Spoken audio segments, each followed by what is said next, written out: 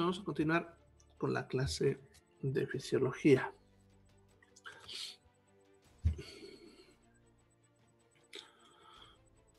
Entonces estamos viendo el sistema nervioso.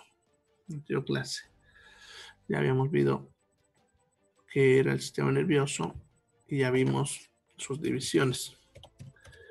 Vamos a ver ahora lo que es la célula en sí, qué es lo que hace, bueno, en realidad cómo, cómo trabaja, qué es lo que nos interesa.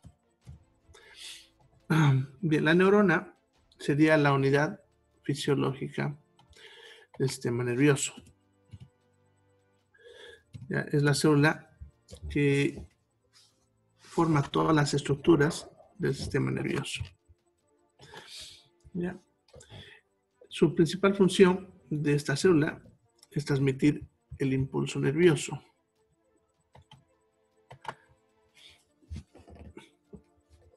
Bien, para eso vamos a ver primero cuáles son las partes de la neurona y luego vemos lo que es el impulso nervioso. Entonces, ahí vemos a la neurona.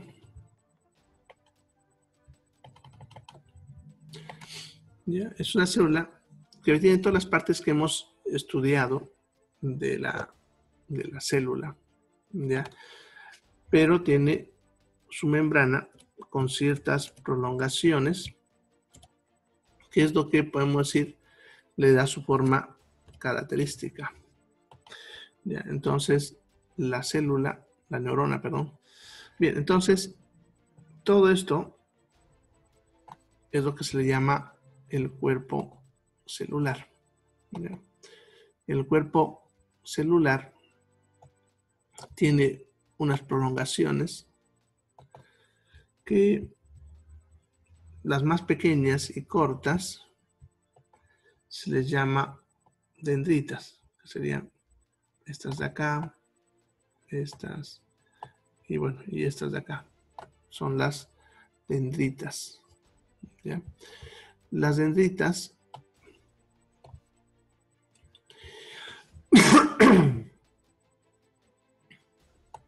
Las dendritas son las que reciben los impulsos. Entonces, cuando una neurona va a trabajar, los impulsos van a ingresar por el lado de la dendrita.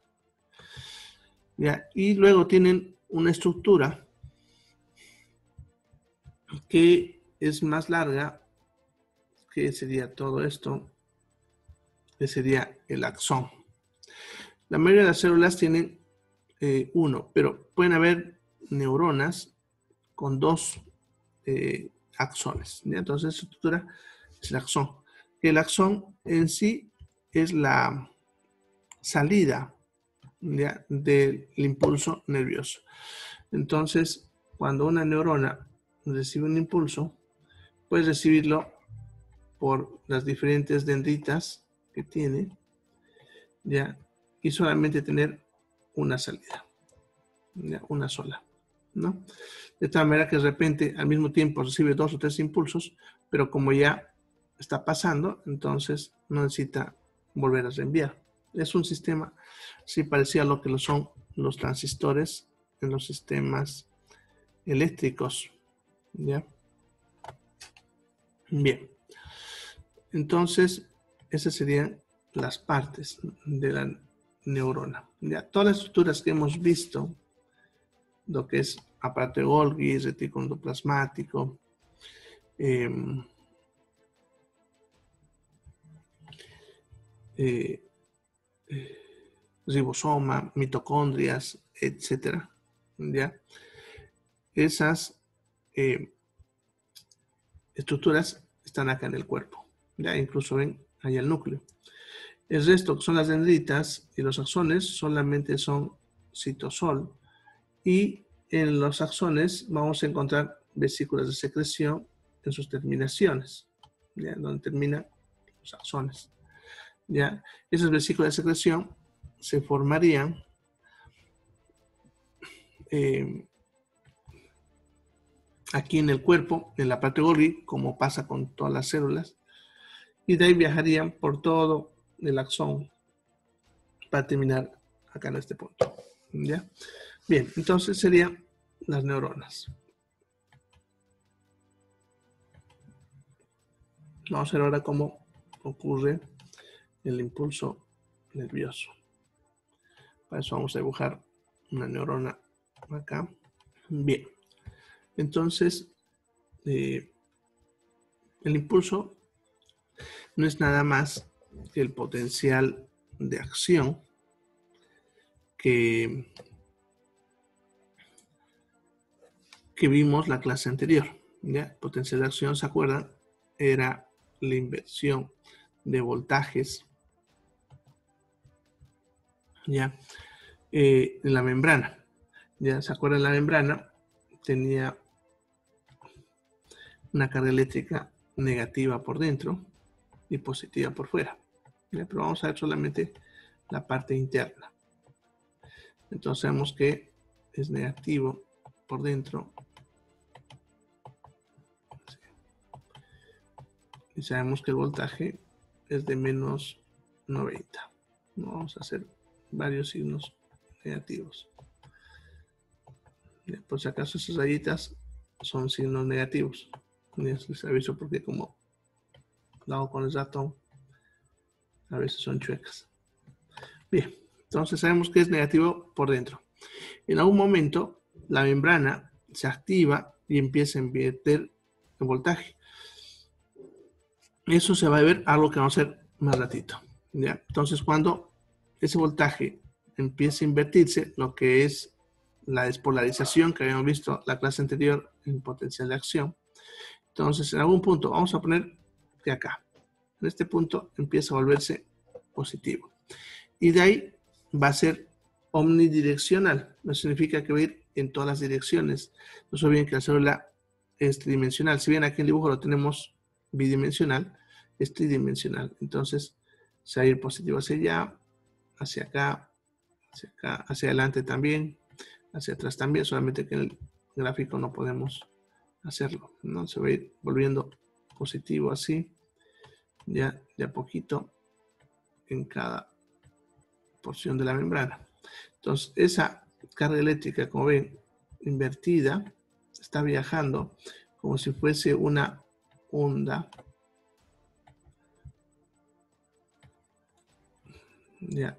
en la membrana. Ya, sí. ya saben que esto dura milésimas de segundo. Entonces todo esto va a ir bastante rápido, moviéndose así. Ya, bien, así. Ya hasta el final, ¿no? Hasta acá. lo terminé, mira que me falta unos cuadritos. Ya, está, así. Se va a invertir por completo. Al mismo tiempo, conforme va pasando eso, Aquí también ya volviendo a ser negativo, ya porque no se olviden que les decía que esto dura milésimas de segundo. Entonces va volviéndose negativo cuando ya empieza la repolarización. Entonces todo eso va pasando y por lo tanto ese voltaje positivo por dentro está viajando por la membrana. ¿ya?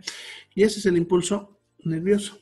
Simplemente ese potencial, ese voltaje invertido, va a viajar por la membrana. Ese es el impulso nervioso. Por lo tanto, no es nada más de lo que hemos visto en el anterior tema, lo que es el potencial de acción, solamente que aplicado a la neurona. Ahora, lo que sí aquí hay que estudiar un poquito es la velocidad a la que corre el impulso. ¿Ya? Ahora, sucede que eh,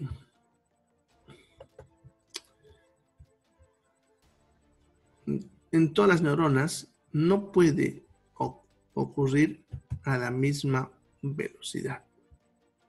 No puede eh, este impulso moverse a la misma velocidad en todas las neuronas.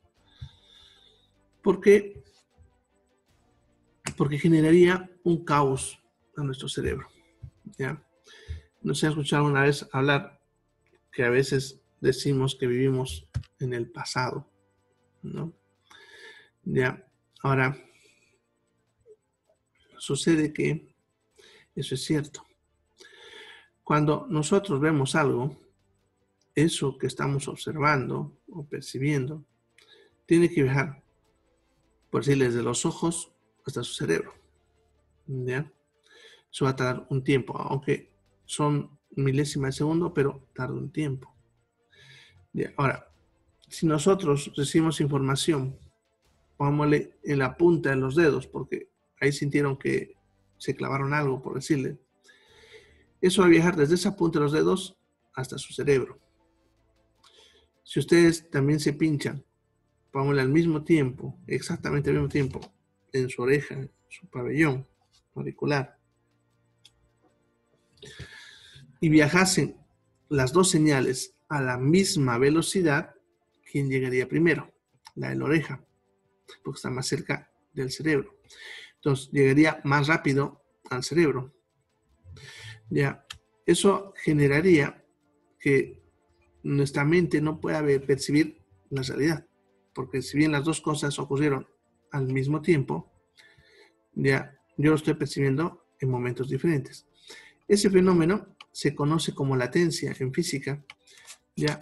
Y no solamente se aplica a lo que estamos hablando ahorita, muchas cosas. Incluso eh, en lo que ahorita están viendo. de ver que hay clases en las que yo hablo lento. Es porque cuando yo hablo y lo que ustedes escuchan pasa por lo menos uno o dos segundos. Y eso yo lo percibo porque yo recibo la, la información por mi audífono, conectado a mi teléfono, donde yo veo cómo me llega la señal, cómo les llega a ustedes la señal. ¿ya? Es lo mismo también lo que alguna vez han debido ver con los rayos, cuando hay tormenta. Ustedes han debido ver que se ve la luz cuando el relámpago ocurre, entonces se ve esa luz que le llamamos nosotros rayo pero el ruido a veces lo percibimos con bastante atraso, ¿no? Después de uno o dos segundos escuchamos lo que le llamamos el trueno, que es el sonido del relámpago. Entonces las dos cosas ocurrieron al mismo tiempo, porque fue un solo rayo, ¿ya? O pero un solo relámpago. Simplemente que la luz la vemos primero porque viaja más rápido que el sonido. Entonces por eso percibimos primero la luz y luego el sonido. ¿ya? Es porque viajan a diferentes velocidades, ¿no? Ahora, en las comunicaciones eso es algo muy importante. Ya trata de reducir siempre la latencia al mínimo para evitar que haya eh, problemas. Eh, por ejemplo, eh, cuando hay un concierto, lo que más cuesta que los ingenieros de sonido equilibren es justamente esto, la latencia. Porque ellos cuando están cantando, el sonido va a viajar, va a rebotar y va a volver al micrófono atrasado y eso genera un efecto de ruido en, los parlantes, ¿no? Y eso suele traerles problemas cuando ellos están en un concierto, ¿ya? Ahora, ese fenómeno de latencia va a variar dependiendo también de la velocidad y la distancia. Lo mismo es acá. Nuestro cuerpo, ya, si ustedes perciben algo en una parte del cuerpo y al mismo tiempo en otra parte, en teoría deberían llegar en tiempos diferentes. Eso generaría que nuestra mente entre en caos, ¿ya? Porque yo no pudiese percibir el tiempo de la manera que realmente ocurre. Entonces, para eso, lo que hace el cuerpo es tener diferentes velocidades, ¿ya? Hay lugares del cuerpo donde va a viajar más lento y lugares del cuerpo donde va a viajar más rápido, ¿ya? Entonces, por ejemplo, en lo que son eh, cuanto más cerca del cerebro estemos, más lento viajará la señal. Y cuanto más nos alejemos, más rápido. Entonces, si ustedes se clavan al mismo tiempo en la oreja en la punta del pie, en su mente lo van a percibir al mismo tiempo. ¿Por qué? Porque el de la oreja va a viajar más lento y el del pie va a viajar más rápido, de tal manera que los dos llegan al mismo tiempo. Entonces mi mente percibe eso que ocurrió hace milésimas de segundo, como si nosotros eh, fuésemos presente. ¿Ya? Bien. A ver, sí, sí estoy grabando, Liliana. Está grabando. Bueno, entonces, es lo que llamamos latencia. Ahora, ¿cómo hacen las neuronas para regular esa velocidad? ¿Ya? Bien, para eso volveremos al dibujito que hace ratito les compartí. Para ver algo que no les he mostrado.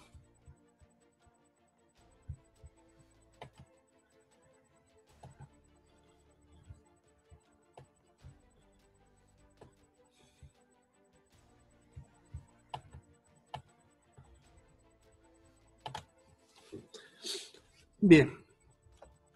Entonces, en los axones, alrededor de ellos se envuelven unas células que se llaman células de Schwann, que serían esas células de color amarillo que ven ahí. ¿no? Se llaman células de Schwann. Ahora, estas células se envuelven, algo así como envolvemos una cinta en un palo o algo así. Entonces, se envuelve así da la vuelta a veces, así como hacen para los cables eléctricos con la cinta aislante, no le dan varias vueltitas a esa cinta adhesiva para aislarlo. Y es lo mismo acá. Las células de Schwann se envuelve así como una cinta alrededor del axón. ¿Para qué? Para aislarlo también. Aísla esa zona. ¿Ya? Y entre las células de Schwann hay unos espacios que se llaman nodos de Rabier. Que aquí incluso nos están mostrando uno, como pueden ver.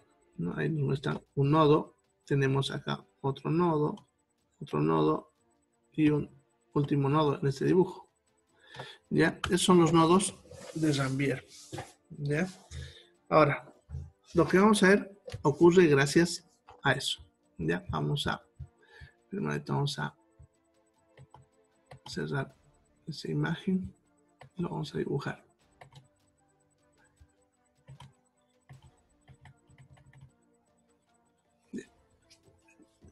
En este mismo. Vamos. a estar dibujando otra vez. Vamos a borrar todo eso.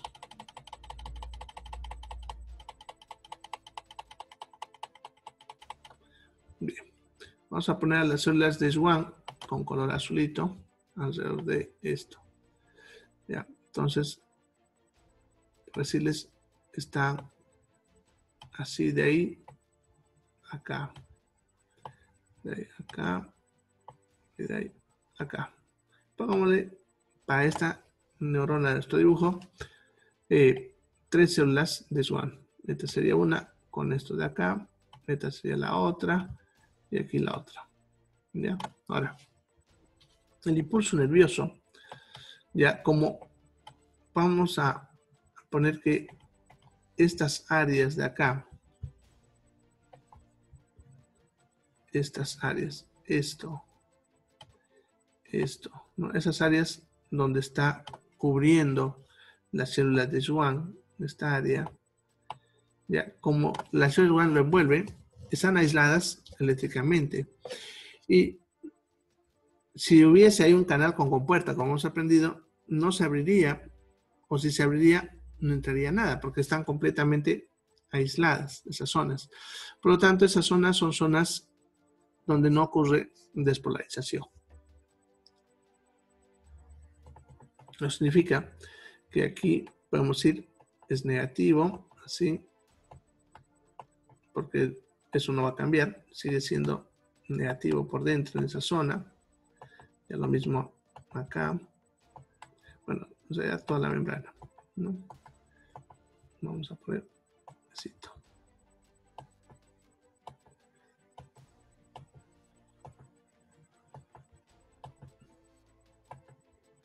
Bien, así. Pero los nodos de Rambier, estas zonas de acá, no están aisladas. Por lo tanto, cuando el impulso corre, ya, ya sabemos que el impulso puede empezar en cualquier punto. Pongámosle que empezó por acá y de ahí se volviendo positivo todo. Ya, y llegó a este punto. Entonces, de acá, de este punto, de este punto de acá, ya no va a poder despolarizarse las zonas de acá. ahí no va a poder despolarizarse. Ya, entonces, lo que va a pasar es que va a saltar. Ya, desde este punto saltaría hacia los nodos de Rambier. Entonces, acá, ahí, ahí se volvería positivo. De ahí saltaría al otro nodo de Rambier, donde se volvería positivo. Y de ahí al siguiente, y así sucesivamente hasta llegar. Entonces viajaría a saltos el impulso nervioso. Y eso que regula la velocidad, ya que si ustedes se dan cuenta, si el espacio entre nodo y nodo es más corto, va a avanzar más lento, porque va a dar pequeños saltos y eso retrasará que avance la velocidad. Pero si el espacio entre nodo y nodo es más amplio, avanzará más rápido. ¿Ya? Es lo que regula la velocidad, simplemente su espacio. Como va a viajar a saltos entre nodo y nodo, si ustedes pueden dar saltos más largos, llegarán más rápido. En cambio, con saltos más cortitos, pues llegarán más lento. Es lo mismo que ocurre acá. Si estamos hablando de una neurona que tiene un axón que viene desde la punta del pie hasta la médula espinal, ese axón va a tener un buen espacio entre nodo y nodo para que ese impulso vaya saltando y llegue más rápido. Cuando estamos cerca del cerebro, el espacio entre nodo y nodo es más cortito, de tal manera que avanzaría más lento. ¿Ya? Bien, entonces es lo que regula la velocidad del impulso nervioso. ¿Ya? Ahora, vamos a darle una aplicación práctica a eso. Sucede que a pesar, como decía, que nosotros nos damos cuenta de la realidad, decía hace rato, vivimos en el pasado. ¿no? Nosotros lo que percibimos ha ocurrido milésimas de segundo atrás. ¿ya? Entonces, por ejemplo, cuando ustedes manejan una movilidad, ¿cuánto es la velocidad máxima segura para aquí, para Bolivia, para nuestras carreteras? Es de 80 kilómetros por hora pudiesen de repente alcanzar una velocidad, pero ya no sería seguro. Ya hay otros países donde tienen carreteras para mayor velocidad, 100 kilómetros, para 300 kilómetros, hay en Europa de carreteras, pero tiene que tener características especiales. Y una de esas características es que nada se cruce en el camino. Ya nuestras carreteras, ustedes saben, cualquier cosa se cruza por cualquier lado. Ya, o sea, no tiene un aislamiento como para que un animal o algo se cruce. Ahora, ¿por qué eso es peligroso? Ya, cuando nosotros vamos a 80 kilómetros por hora, nos va a dar tiempo para frenar cualquier cosa que veamos. Pero si vamos encima de 80, pongámosle a 100, nos vamos a accidentar, ¿ya? Por más que tengamos buenos reflejos. Sucede que cuando ustedes ven algo, eso se procesa en sus ojos primero en las células que hay de la retina, se procesa la imagen. Eso tarda milésimas de segundo y también trabaja, así como estamos viendo acá, con potenciales. Luego eso se pasa a las neuronas que transmiten esta señal por el nervio óptico. El nervio óptico va a viajar hasta la corteza occipital, la imagen. Y ahí tenemos que procesarla porque interesantemente vemos la imagen al revés. Su ojo derecho manda a la izquierda y la izquierda a la, a la derecha lo de arriba hacia abajo. Entonces la imagen está completamente invertida cuando llega a la zona occipital. En la zona occipital la imagen se invierte, ¿ya? Eso es un proceso mental. Le invertimos la imagen y luego de invertir la imagen, dependiendo de lo que se esté observando, se mandará a diferentes centros, incluidos los centros de memoria, para recordar, observar y determinar si eso que estamos viendo como una imagen es peligroso o no. Si se determina que es peligroso, esa señal viajará a diferentes centros, incluidos también los centros de memoria, para poder tomar acción, ¿ya? para poder hacer algo. Pongámosle que después de ver eso, vamos a obviamente decidir pisar el freno. ¿no? Eso lo vamos a procesar como pensamiento, pero todavía no vamos a pisar el freno, simplemente lo estamos procesando como lo que vamos a hacer. Luego eso se envía a la corteza motora para que la corteza motora procese qué músculos se van a mover. Luego la corteza motora envía esa señal hacia los músculos, pero no directamente, sino tiene que pasar por varios centros nerviosos que filtrarán el tipo de movimiento que vamos a hacer.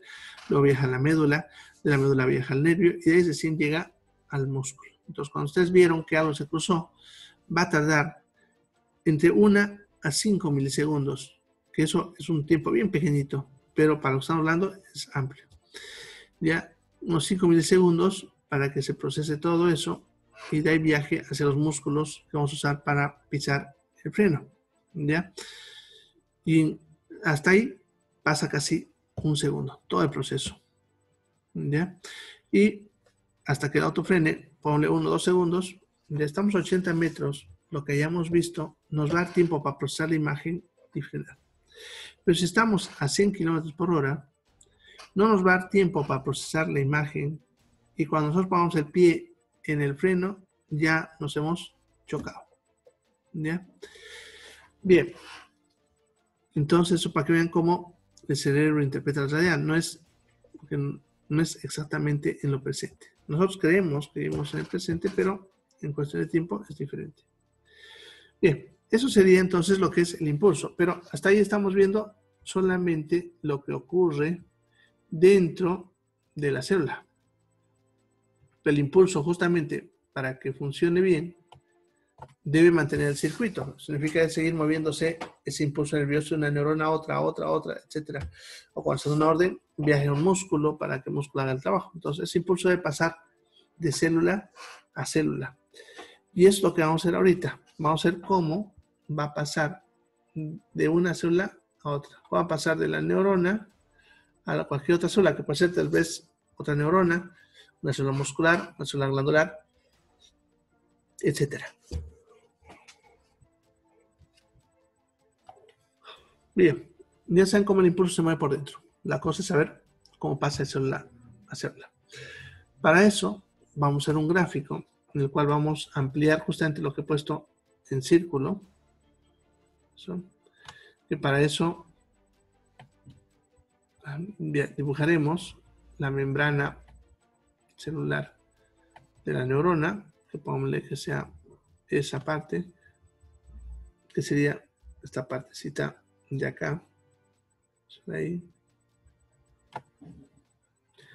y la parte del frente, que sería esta parte, vamos a ampliar. Entonces tendríamos las membranas de ambas células. En la izquierda, que es la membrana de la neurona, vamos a encontrar en esa área vesículas de secreción. Entonces, en esta zona va a haber vesículas de secreción.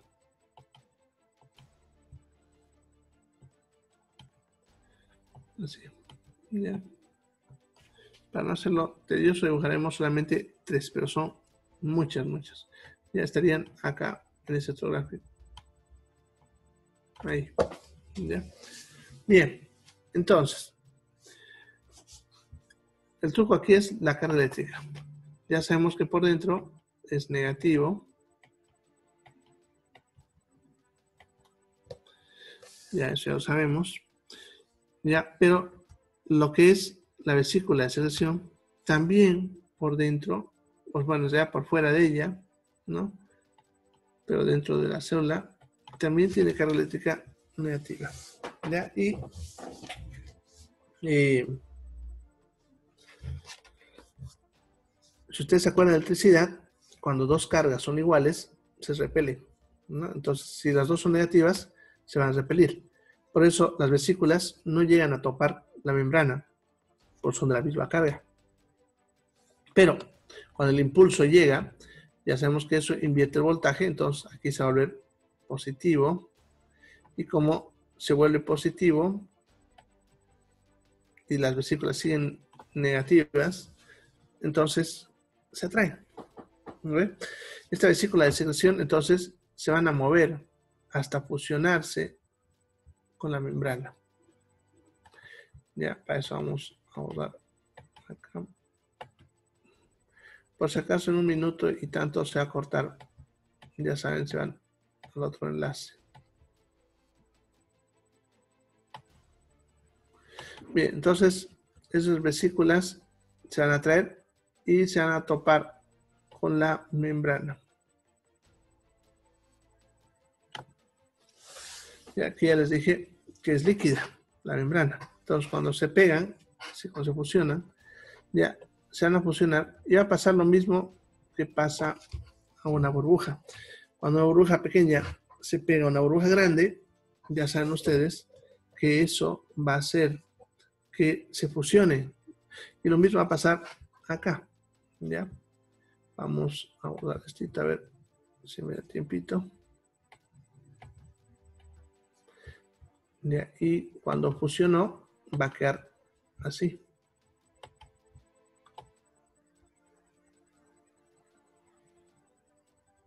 Así, ¿ya? De tal manera que lo que había aquí adentro de esto queda libre, ¿no? Y la membrana de la vesícula de secreción pasa a formar parte de la membrana celular. Por eso cuando hablamos de aparato de Golgi, decía que también participaba en la síntesis de la membrana celular, porque a través de las vesículas de secreción estaría mandando parte de su membrana para reparar, ¿no? Bien, entonces esta parte de la membrana de lo que es la vesícula permanece este, fusionada a la membrana, ¿no?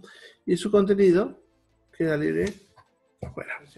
Entonces, ahora sí. Dentro de esa vesícula va a haber unas sustancias llamadas neurotransmisores. ¿Qué sustancias son las claves? Ya vamos a dibujarlas con triangulitos. Entonces, los neurotransmisores son triangulitos. Cuando la membrana se fusiona, entonces quedan libres y a partir de ahí se van a mover por un fenómeno que hemos visto que es difusión. ¿Y cómo? En esta zona están en gran concentración y todo esto no hay, están en muy baja concentración, entonces su dirección es moverse de ahí a todas esas direcciones. Todas las direcciones. De tal manera que los neurotransmisores llegarán a todo ese espacio y en algún momento llegarán a topar a la membrana de la célula que está al frente. Ahora, esta célula va a tener sus famosos canales con compuerta que vimos en la anterior clase, pero van a estar cerrados. Y en algún momento, en algún momento llega un neurotransmisor a ese lugar, lo activa el canal con compuerta y lo abre. ¿Ya? Entonces ahí azulito sigue siendo lo mismo, neurotransmisor. Y con verde estaría el canal con compuerta. Y ni bien se une el neurotransmisor, el canal con compuerta se abre. Una vez que se abre el canal con compuerta, lo siguiente que va a pasar es que el sodio, que está acá afuera, va a empezar a entrarse. ¿Ya? Y es lo que has visto la clase anterior. Entonces, al hacer eso, se pasó la señal, ya que esa otra célula va a empezar a transmitir también el impulso de la misma manera. ¿Ya? Bien. En otras palabras, el mensaje llegó. Por eso se llaman neurotransmisores. ¿Ya? Ahora, también les he explicado que el sodio no puede estar eternamente adentro no puede subir hasta igualar ¿ya? A, lo que está dentro de la célula, porque eso generaría muerte de la célula. Entonces tiene que haber un mecanismo para que eso dure cierto tiempo. Ya. Para eso, nuestras, nuestro cuerpo, o nuestras células en realidad producirían unas enzimas llamadas enzimas catalíticas de neurotransmisores. ¿Eso qué significa? que son sustancias que atacan a los neurotransmisores y los destruyen. Estas sustancias están esperando en este espacio. Ponle así con circulitos rojitos. Ya son pocos, ¿no? De tal manera que los neurotransmisores cuando se liberan, algunos serán capturados por estas enzimas, y por lo tanto destruidos. Y algunos conseguirán llegar a abrir canal con compuerta. ¿Ya? Bien, una vez que un neurotransmisor es tocado con una enzima catalítica, pongámosle ahí, entonces destruido. Se destruye. Y eso significa que el canal con compuerta se vuelve a cerrar.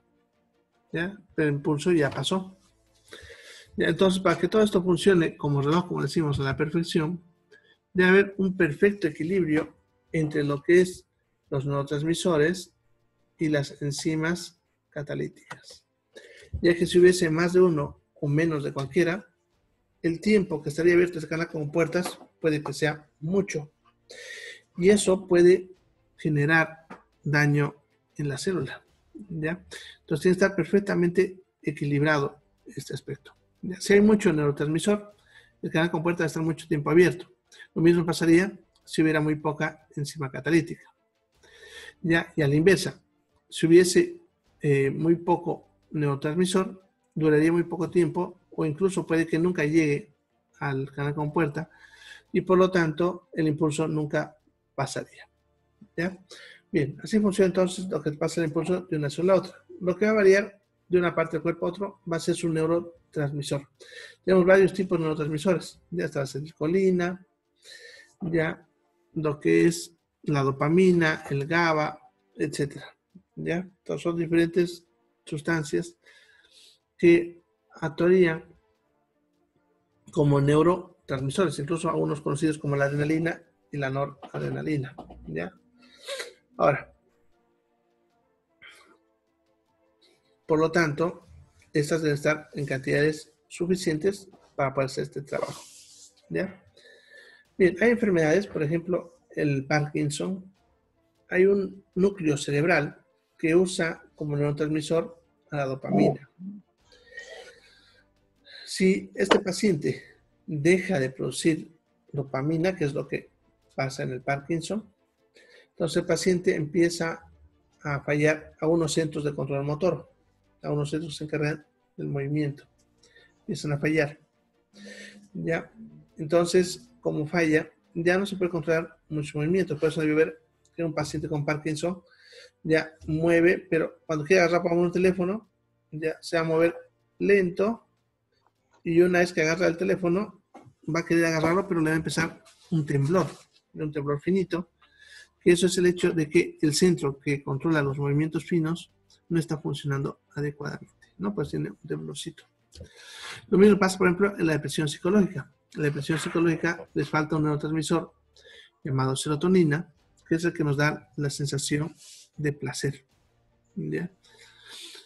Bien, eso en cuanto a enfermedades. En cuanto a tratamientos, también lo usamos de alguna manera.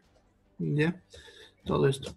Por ejemplo, cuando queremos relajar los músculos de una persona, vamos a colocar un relajante muscular.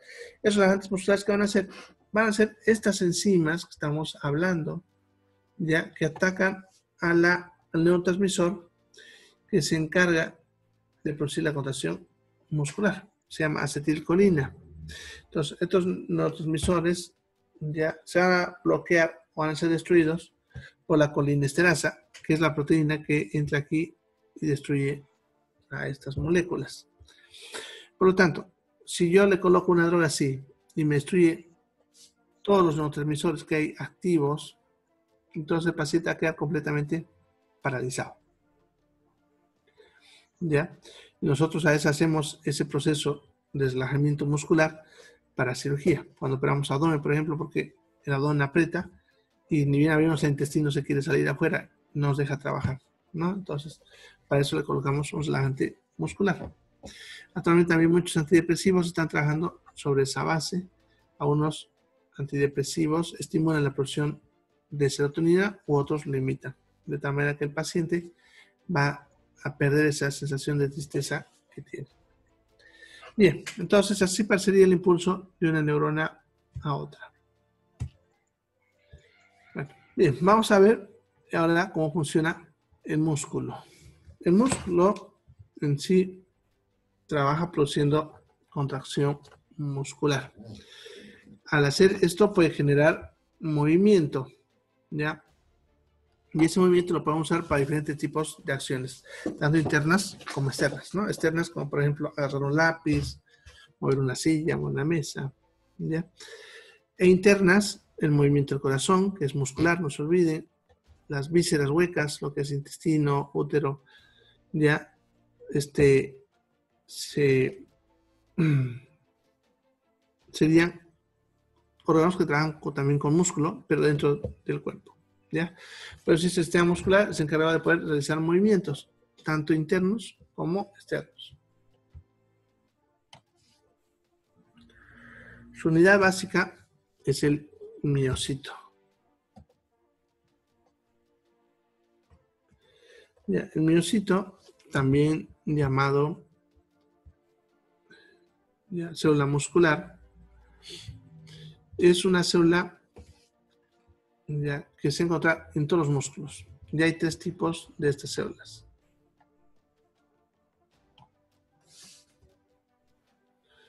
primero, vamos a encontrar el miocito estriado. se llama así porque cuando uno ve el microscopio se ven ciertas estrías. Ahora vamos a ver si les muestro.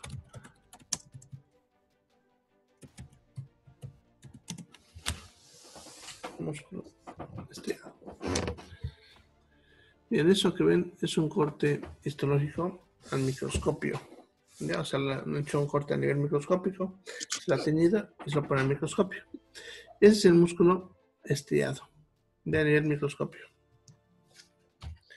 Ya, lo que ven acá, esta de acá, sería la célula muscular. ¿ya? Bien, eso que ven dentro de los solitos que es rayado sería la muscular. Si ustedes lo ven más de cerca, van a ver que tiene unas ondulaciones, ¿ya? Pues de estriado, ¿no? Estrías, ¿no? Así a lo largo, a lo ancho, ¿ya? ¿Ya? De ahí el nombre de estriado, porque se lo ve hacia el microscopio. ¿Ya? Estas células son células multinucleares. ¿Ya? Eso significa que tienen varios núcleos. ¿Ya? En esta imagen, por ejemplo, ven acá, bien a derecha, este es un núcleo y este es otro núcleo. ¿ya? Lo que tiene alrededor puede ser el retículo plasmático, este, la parte etc. Ahora, estas células, si bien son multinucleadas, son del tamaño del músculo. Así que si el músculo es de cierto largo, las células también son de ese largo. ¿ya? Bien, eso sería el músculo estriado que también se suele llamar esquelético.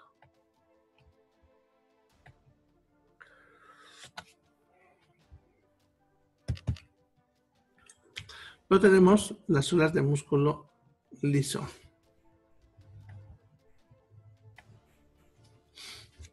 Ya, en este caso se llama así porque no tiene ninguna estrella como anterior dibujo. Bien, estas células se van a encontrar formando parte de la pared de lo que son las vísceras huecas. Estamos hablando de intestino, eh, estómago, esófago, ¿ya? útero, vejiga. ¿ya? Entonces, ese tipo de célula se encuentra ahí. Es una célula de forma fusiforme. Vamos a la imagen. Bien, fusiforme significa como ven, son más anchas hacia el centro y de ahí se adelgazan.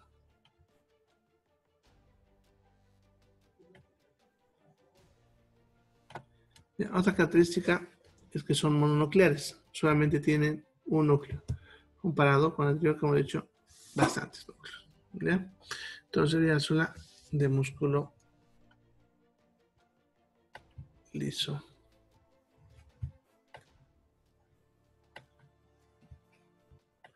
Y luego tenemos los miocitos del músculo cardíaco, ¿no? Los que forman el corazón. Son también mononucleares, pero de forma se parecen a las estriadas. Por eso pudiese confundirse si uno tiene experiencia. ¿ya?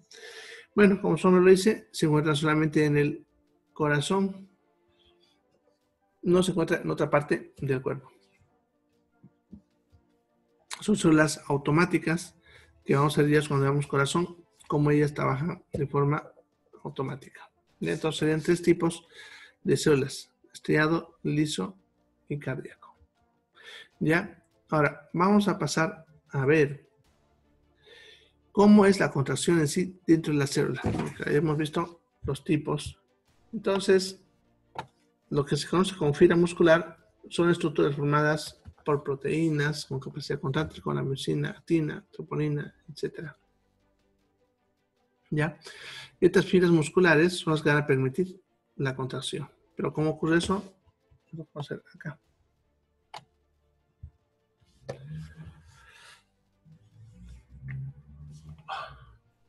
Bien, ¿cómo ocurre la contracción? Primero, para eso, tiene que dar un potencial ya sabemos que las células, cuando están haciendo algo, tienen que cambiar de potencial de membrana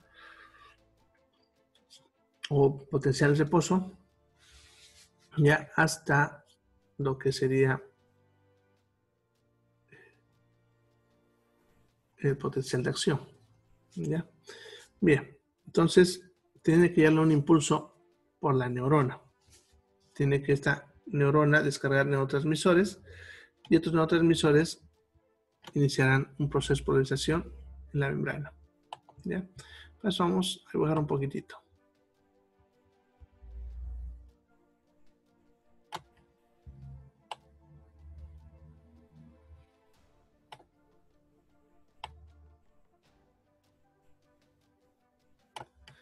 Bien, entonces eh, a la membrana de la zona muscular se le llama sarcolema.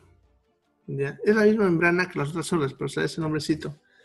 Luego, el líquido del músculo se llama sarcoplasma. Y el retículo endoplasmático ya se llama retículo sarcoplasmático, que sería este de acá y este de acá.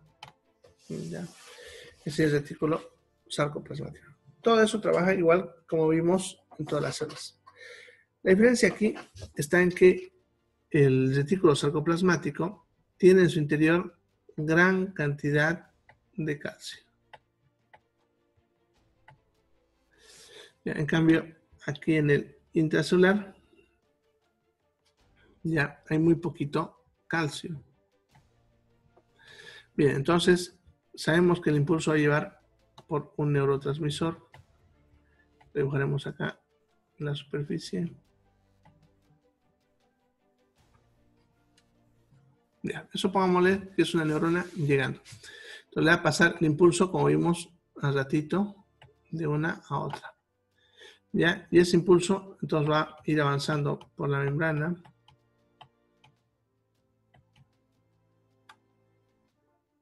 y va a penetrar por unas estructuras que tienen forma de tubos, que se conoce con el nombre de túbulos en T, ¿ya? que sería esto que he dibujado acá, túbulos en T. Y ahora cuando eso ocurre, sucede que el retículo sarcoplasmático también se despolariza, ya que también mantiene polaridad. Ya, al hacer eso, lo que es en el retículo sarcoplasmático, se va a abrir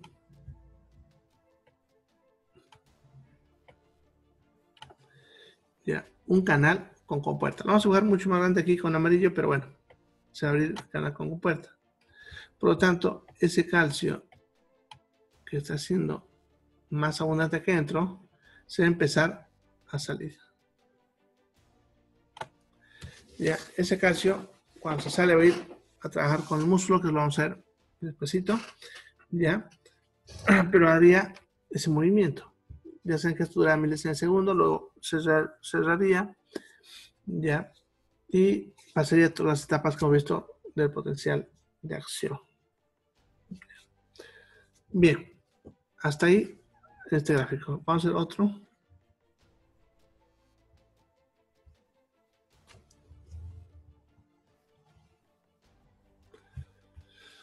Bien, vamos a dibujar ahora lo que son las fibras. Las fibras musculares están compuestas, dice, por tres tipos de fibras. Una, lo que es la miocina, otro que es la actina y otro que es la troponina. ¿Ya? Vamos a dibujar primero la actina. Bien, así más o menos sería un bloque de actina. Uno, porque se van a sumar uno al lado de otro. Aquí les voy a dibujar otro ladito para que más o menos lo, lo vayan viendo. Bien, ahí tenemos otro bloque de actina.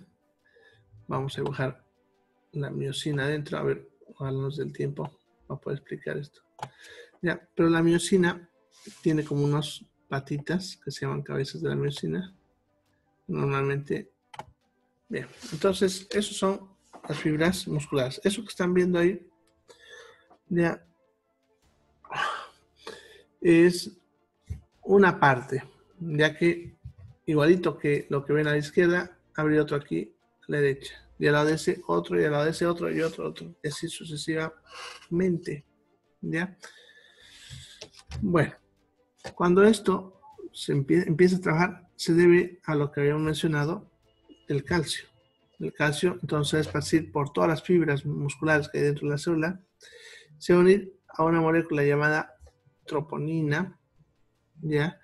que esta troponina está copiando, pero está protegiendo unos sitios activos que hay en la actina. Entonces, con el calcio se mueve esta molécula.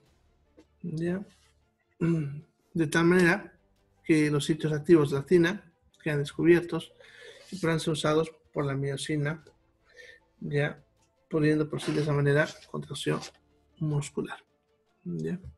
Bien, les vamos a aquí una imagen ¿Qué es lo que pasa cuando se contrae? Bien, entonces, está la miocina, la misma que hemos dibujado ahí arriba, pero con los bracitos levantados. Ya, en la imagen de arriba, como ven, los bracitos están echados. Ya, y en la otra, parados. Ya, entonces, ¿cómo trabaja eso? Ya, pero como pueden ver, lo que es la actina se mete dentro de la otra actina. ¿ya? Lo muy cortito, pues son un poquito más largos. Por acá más o menos es, creo. entre otras, otras palabras, lo que va a ocurrir es esto. Tenemos una actina, ponle que esta mano es mi actina, aquí tengo otra actina, están así. Ya cuando se contraen, hacen esto. Ya se meten así y vuelven otra vez se mete y vuelve. ¿Ya? Bien, entonces, eso es lo que sería como trabaja esa estructura. Pero para que esto trabaje, necesitamos como ocurre con la miocina y el calcio en este punto. Bien, ahora sí, nos vemos. Se cuidan. Chao chicos.